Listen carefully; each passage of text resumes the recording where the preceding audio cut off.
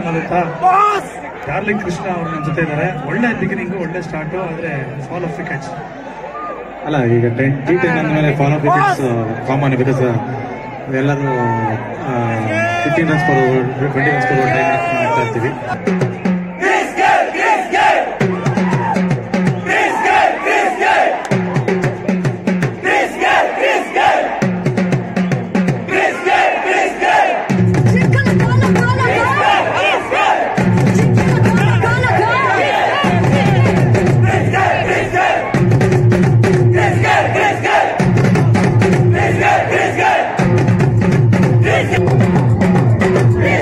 Biscuit!